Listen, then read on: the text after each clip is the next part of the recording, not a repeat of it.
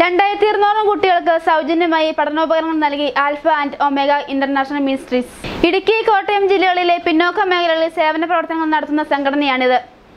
സുമനസ്സുകളിൽ നിന്നുള്ള സഹായം ഉപയോഗപ്പെടുത്തിയാണ് സംഘടനയുടെ സേവന പ്രവർത്തനങ്ങൾ. സാമ്പത്തിക പിന്നോക്കാവസ്ഥയേറെ അനുഭവിക്കുന്ന തോട്ടം മേഖലയായ മ്ലാമലയിലെ വിദ്യാർത്ഥികൾക്കാണ് ആൽഫ ആൻഡ് ഒമേഗ ഇന്റർനാഷണൽ മിനിസ്ട്രീസിന്റെ നേതൃത്വത്തിൽ പഠനോപകരണങ്ങൾ നൽകിയത്. മേഖലയിലെ രണ്ടായിരത്തി ഇരുന്നൂറോളം കുട്ടികളുടെ സഹായം എത്തിക്കാൻ സംഘടനയ്ക്ക് കഴിഞ്ഞിട്ടുണ്ട്.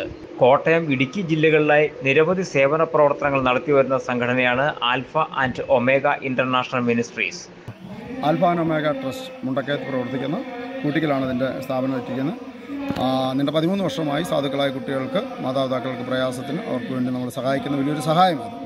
ഈ വർഷം രണ്ടായിരത്തി ഇരുപത്തി മൂന്നിൽ നമുക്ക് K C P M C എന്ന് പറയുന്ന കുമ്മിളിലുള്ള ഒരു സംഘടന നമുക്ക് എഴുപത്തയ്യായിരം രൂപ സഹായിക്കുകയും ചെയ്തു. അവരുടെ സഹായത്തോടു കൂടിയാണ് ഈ പ്രാവശ്യം ഏകദേശം രണ്ടായിരത്തി ഇരുന്നൂറോളം കുട്ടികൾക്ക് നമുക്ക് പഠനോപകരണം ചെയ്ത് ഈ ബ്ലാമല എസ്റ്റേറ്റ് ഭാഗത്ത് നമ്മൾ എട്ടാമത്തെ വർഷമാണ് ഇത് ചെയ്യുന്നത്.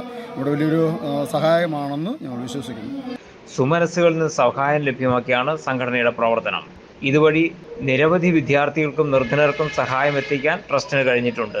പഠനോപകരണ വിതരണ യോഗത്തിൽ ട്രസ്റ്റ് ഭാരവാഹികൾ വിവിധ ജനപ്രതിനിധികൾ തുടങ്ങിയവരാണ് പങ്കെടുത്തത്.